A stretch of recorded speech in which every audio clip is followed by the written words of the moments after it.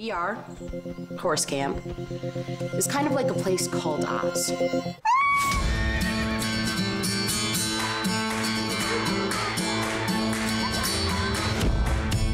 She's fantastic. She's a star. So why don't you go talk to her?